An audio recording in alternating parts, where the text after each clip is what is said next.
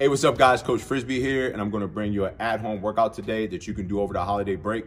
All you're gonna need is a pair of five pound dumbbells, and if you wanna increase the intensity, you can have a pair of 10 to 20 pound dumbbells as well. Now, this workout doesn't require a lot of equipment, but it can be a calorie burner. You're gonna get out of what you put in it. So let's get ready to rock.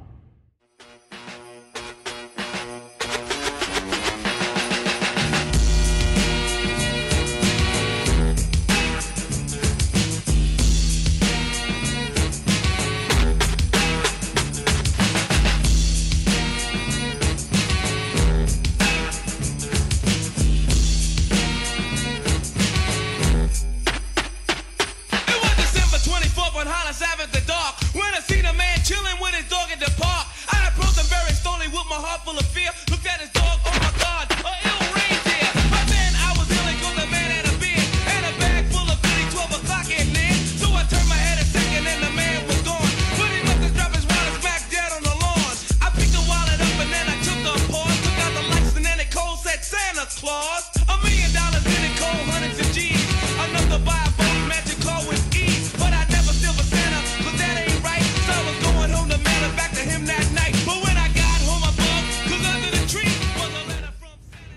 All right, guys, now try this workout out. And if you're looking to impress me, I just want to let you know I use 30 pounds and up on the whole workout. So if you want to do that, please make sure you record that. Make sure you uh, you got to show me the proof, all right?